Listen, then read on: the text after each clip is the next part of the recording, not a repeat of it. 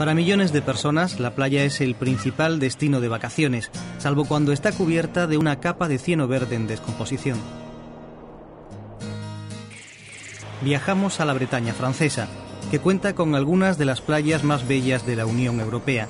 El problema es que muchas suelen verse asoladas por mareas de algas.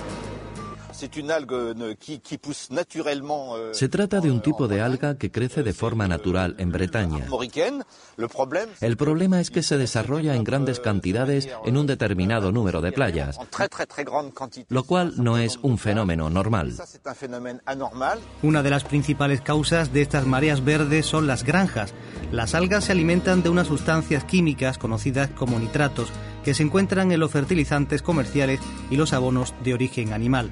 Las plantas necesitan los nitratos para vivir, los absorben del suelo, mientras se encuentran en fase de crecimiento y vuelven a liberar cuando mueren.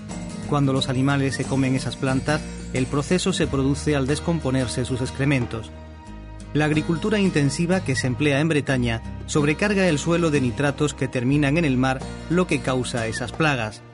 Desde 1991, la Directiva de Nitratos de la Unión Europea intenta proteger la calidad del agua en toda Europa, animando a los agricultores y ganaderos a que adopten métodos más sostenibles y utilicen menos abonos.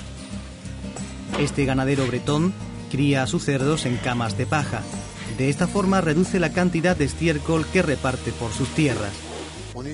Utilizamos paja de los cultivos que cosechamos en la granja para hacer las camas de paja. Los cerdos viven en ellas y además depositan aquí sus excrementos, lo que origina un abono orgánico en lugar del estiércol que se consigue normalmente en los corrales con suelo de hormigón. El nitrógeno del abono orgánico tarda más en descomponerse que el del estiércol. De esta manera se reduce el riesgo de verter un exceso de nitratos en ríos y aguas subterráneas. El fiordo odense, en Dinamarca, también ha sufrido los efectos de la contaminación por nitratos. Sin embargo, expertos medioambientales y agricultores intentan resolver el problema. Nos estamos dedicando a examinar la calidad de la vegetación submarina. En concreto, estamos controlando la cantidad de crin marina que hay presente, dado que esta es un indicador de la buena calidad del agua. Aquí, las autoridades han optado por transformar tierra usada en la agricultura intensiva en humedales respetuosos con el medio ambiente.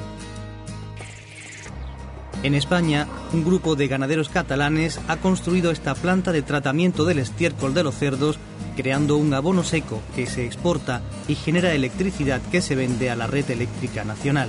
Han aprovechado la sinergia de la planta para juntar a todos los participantes locales y generar un enfoque común de gestión. Bruselas exige esfuerzos a los 27 para reducir los excesos nocivos de los nitratos y lograr que las mareas verdes sean parte del pasado.